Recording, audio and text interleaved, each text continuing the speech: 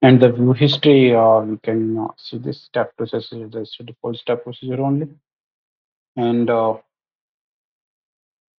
see, when I click this uh, work queue, see this uh, activity icon is going to change. And uh, when I select as a participant, it's a person name uh, it's shown. So it's a by default, so it will go go that it will change that uh, icon. Okay.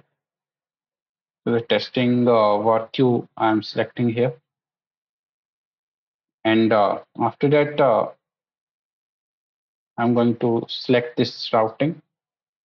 And uh, okay, so in this activity step, the second is the parameter. Okay, so okay, so the last time uh, we have not saved this. Let's create some parameter also, name and uh, DOB and uh, employee ID.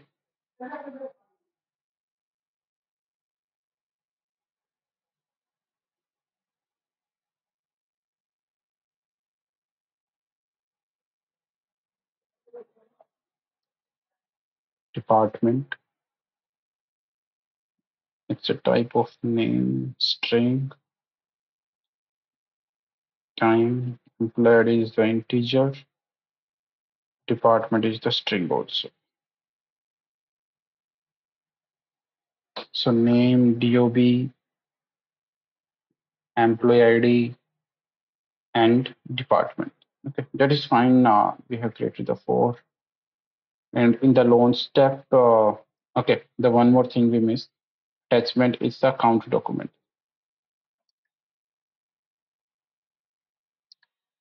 Accounts, uh, also that's fine. It's a known array only. If I'm going to select this and uh, then uh,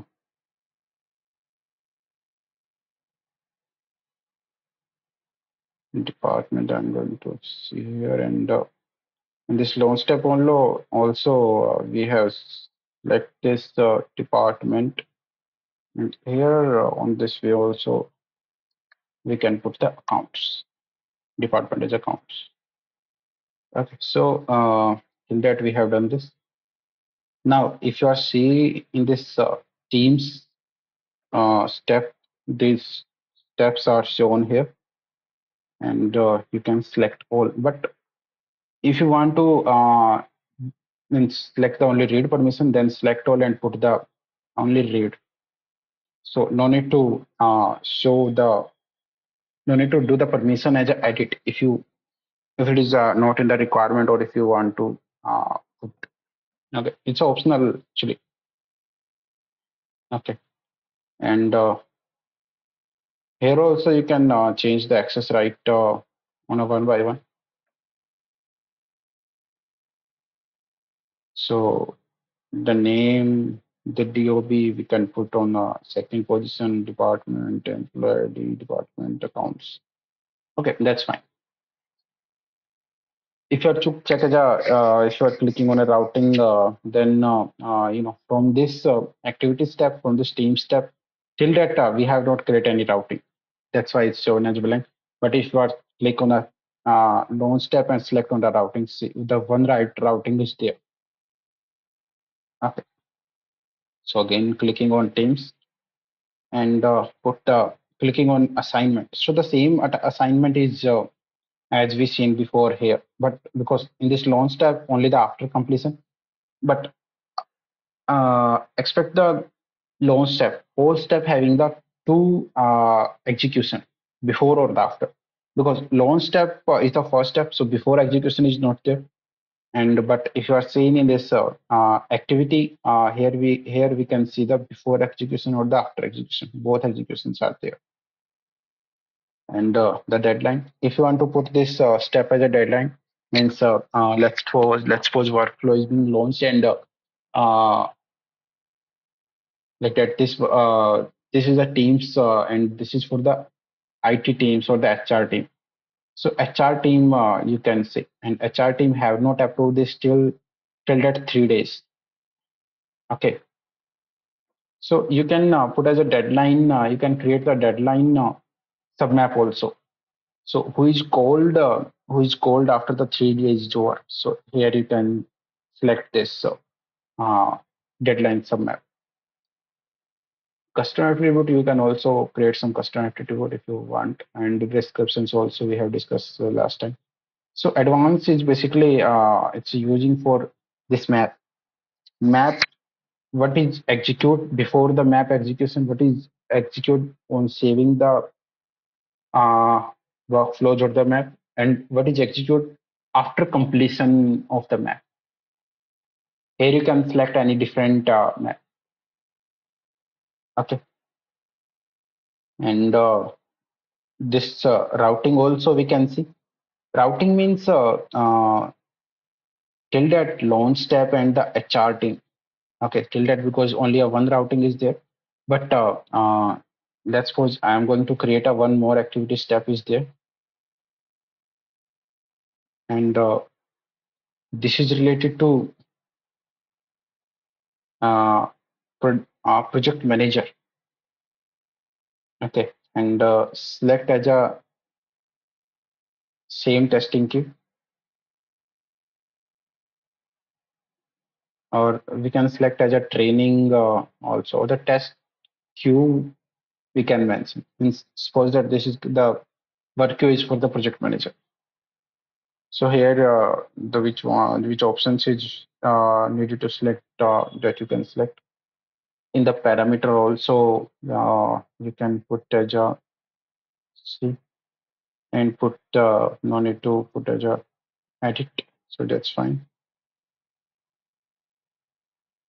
Routing is also empty till that assignment uh, empty deadline. These things are uh, that's fine and uh, create a one more routing here. So if you guys able to see, we have a two routing. So uh, now we are going to create a one more data field. It's a team. For the department is uh, department is I think fine. So uh, if you are able to see uh, after the execution of the launch step, we have uh, hard coded the value of the department. So in this routing, we can put the condition. Conditions means uh, because we have a two routing is there, one for the HR team and one for the project manager. So what is the conditions uh, of that? Means you can say in the place of PM, you can select the account team.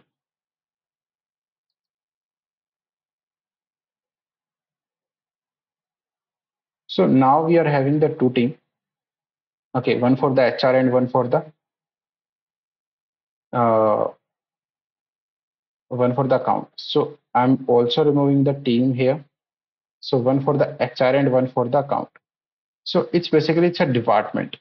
So uh, let's suppose uh, uh, I go uh, the workflow is being launched and I got the department as a uh, uh, I got the department as a account only. You can say, or this the thing we have hard coded. I'm going to remove this. See, so and uh, in the launch tab, in the journal and account is also uh, the department is also yeah now now that's fine. So now we can edit the condition here. So the condition is based on the variable. So the department and it's equal to the hr and click on a add and see now you can uh, put this in a double quotes. Okay this is the first condition. This is the second condition also will be the same but only uh, the value is going to change. Account and uh, put is put in the double quotes. Okay. And uh, uh, okay that's fine till that uh, we are going to save this so this uh, workflow let's check is the session is expired or not it's not expired till that so let's uh, save this in the FileNet only. So click on a FileNet, click on a add new, and uh, let's browse this. So select the right object store which you want to select.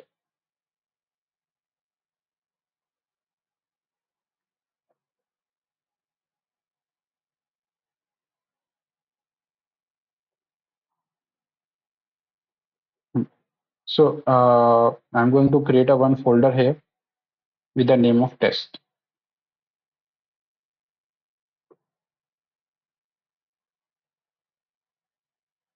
We're gonna finish directly.